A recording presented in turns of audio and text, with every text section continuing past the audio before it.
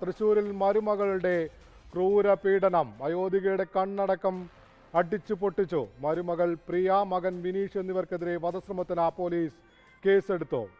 രാഗിൻ നൽകും വിശദാംശങ്ങൾ. രാഗിൻ എന്താണ് ഈ ക്രൂരതയ്ക്ക് കാരണമായി പറയുന്നത്?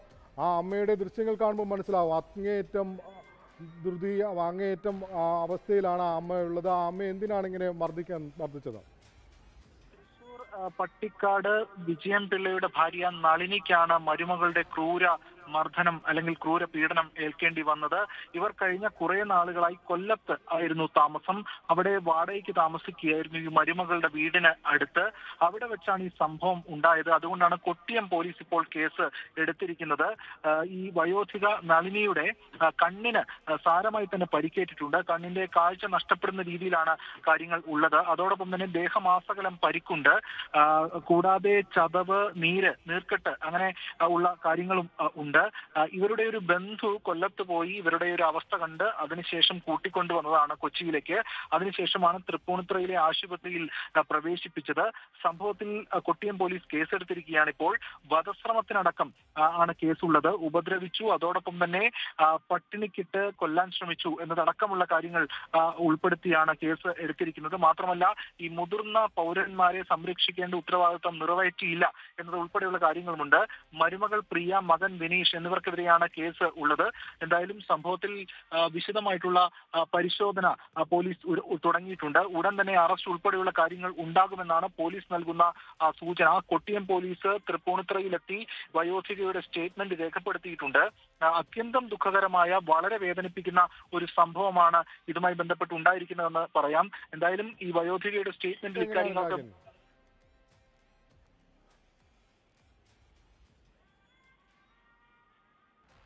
രാഗിൻ കേൾക്കാമെങ്കിൽ അമ്മയുടെ ആരോഗ്യാവസ്ഥ എങ്ങനെയാണ്? നമ്മൾ ഡോക്ടർമാരുമായി സംസാരിച്ചു. ദേഹമാസകലം പരിക്കുകളുണ്ട് മുറിവുകളുണ്ട്. അതൊക്കെ ഹീൽ ചെയ്യുന്ന അവസ്ഥയിലാണെന്നാണ് പറഞ്ഞത്. മാത്രമല്ല കണ്ണിന്റെ കാഴ്ച ആ, നഷ്ടപ്പെട്ടുന്ന സ്ഥിതിയിലാണ് ഉള്ളത്. എന്തായാലും കുറച്ചുനാൾ കുറച്ചു നാൾ കൂടി ആശുപത്രിയിൽ തുടരേണ്ടി വരുമെന്നാണ് ഡോക്ടർമാർ വ്യക്തമാക്കിയിട്ടുള്ളത്. ഇവരുടെ സ്റ്റേറ്റ്മെന്റ് പോലീസ് രേഖപ്പെടുത്തിയിട്ടുണ്ട്. അതിൽ ഈ ഉപദ്രവത്തിന്റെ കാര്യം ഉൾപ്പെടെ മരുമകളുടെ ഉപദ്രവത്തിന്റെ കാര്യം ഉൾപ്പെടെ പറയുന്നുണ്ട്. പക്ഷേ ആ അമ്മ അവസാനം പോലീസിനോട് പറയുന്നുണ്ട് "മ- മക്കളെ ജയിലിൽ കയറ്റാൻ താല്പര്യമില്ല. എന്ന കാര്യവും കൂടി പറയുന്നുള്ളതായി പോലീസ് വ്യക്തമാക്കുന്നുണ്ട്. എന്തായാലും സംഭവം പോലീസിന് ബോധ്യപ്പെട്ട് കേസെടുത്ത് തുടർ നടപടികൾ സ്വീകരിക്കുമെന്ന് വ്യക്തമാക്കിയിട്ടുണ്ട്. മരുമകൾ പ്രിയ അതോടൊപ്പം തന്നെ മകൻ വിനീഷ് വിനീഷ് പുറത്താണ് കഴിഞ്ഞ കുറച്ച് നാളുകളായി ഉള്ളത്.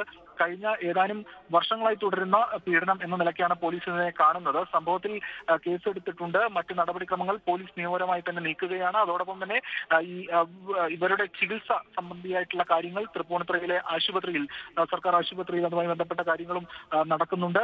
എന്തായാലും വളരെ വേദനിപ്പിക്കുന്ന വളരെ ദുഃഖകരമായിട്ടുള്ള ഒരു സംഭവമാണ് ഇതുമായി ബന്ധപ്പെട്ട് ഉണ്ടായിരിക്കുന്നത്. കൊല്ലത്താണോ ഈ മകൻ താമസിക്കുന്നത്? മകനും മരുമകളും കൊല്ലത്താണ് താമസിക്കുന്നത് അല്ലേ? മകനും മരുമകളും കൊല്ലത്താണ് താമസിക്കുന്നത്. ഇവർ തൃശൂർ സ്വദേശികളാണ്. അവിടെ നിന്ന് മരുമകളുടെ വീടാണ് കൊല്ലം. കൊല്ലത്തേക്ക് താമസം മാറുകയായിരുന്നു ഏതാനും വർഷങ്ങൾക്ക് മുൻപ്. അവിടെ വാടകയ്ക്കാണ് താമസിച്ചിരുന്നത്. അവിടെ വെച്ചാണ് ഈ സംഭവം ഉണ്ടായത്. ഈ മകൻ കഴിഞ്ഞ കുറച്ച് നാളുകളായി ഇവിടെയല്ല പുറത്താണ് ഉള്ളത്. മരുമകളും അവരുടെ മക്കളും ഈ അമ്മയും മാത്രമാണ് വീട്ടിൽ ഉണ്ടായിരുന്നത്. ആ സമയത്താണ് ഇത്തരത്തിൽ സംഭവം ഉണ്ടായത് എന്നതാണ് വ്യക്തമാകുന്നത്.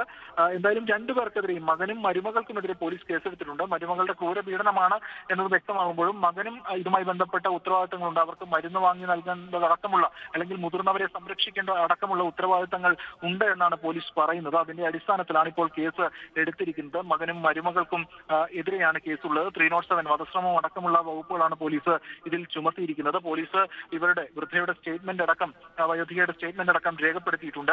അറുപത്തിയേഴ് വയസ്സാണ് നളിനിക്ക്. എന്തായാലും ആശുപത്രിയിൽ ചികിത്സയിൽ തുടരുകയാണ്. പോലീസുമായി ബന്ധപ്പെട്ട കാര്യങ്ങൾ നിയമപരമായി തന്നെ നീക്കുന്നുണ്ട്. അതോടൊപ്പം ആശുപത്രി അധികൃതർ ഇവരുടെ മറ്റ് കാര്യങ്ങൾ ഉൾപ്പെടെ നോക്കിക്കൊണ്ടിരിക്കുകയുമാണ്.